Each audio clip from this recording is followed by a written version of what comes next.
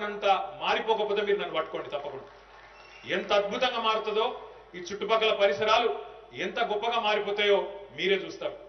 నిన్నగాక మొన్న super star Rajinikanth గారు అన్నారు. ఏమన్నారు ఆయన? ఆయన ఉండేది చెన్నైలో అదేం చి- చిన్నపట్నం కాదు చిన్న ఊరు కాదు పల్లెటూరు కాదు. ఆయన మొత్తం దేశం తిరుగుతాడు విదేశాలు తిరుగుతాడు ఎక్కడెక్కడికో పోతాడు. కానీ వాటి వేటి గురించి చెప్పలేదు ఆయన. హైదరాబాద్కి వచ్చిన ఇరవై ఏళ్ళ తర్వాత మీ ఆ జుబ్లీ హిల్స్ గచ్చిబౌలి ఆ ప్రాంతానికి పోతే హైదరాబాద్లో ఉన్ననా న్యూయార్క్ నగరంలో ఉన్ననా అనిపించింది నాకే అని చెప్పి సూపర్ స్టార్ రజనీకాంత్ చెప్తా ఉన్నాడు. ఉత్తగానే అయిపోతుంది ఆ మాటలతోని డైలాగులతోని?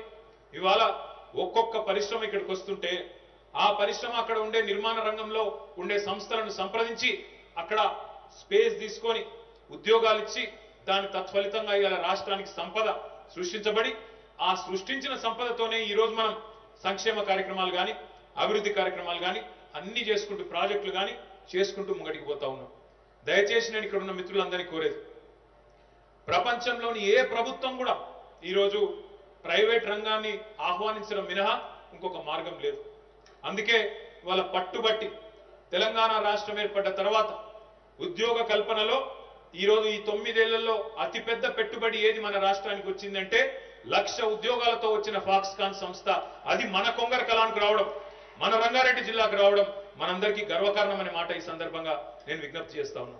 ఇక్కడికి వచ్చినప్పుడు ఆ చైర్మన్ గారు చెప్తున్నారు మరి ఏంది మీ ప్లాన్ తయారైందా?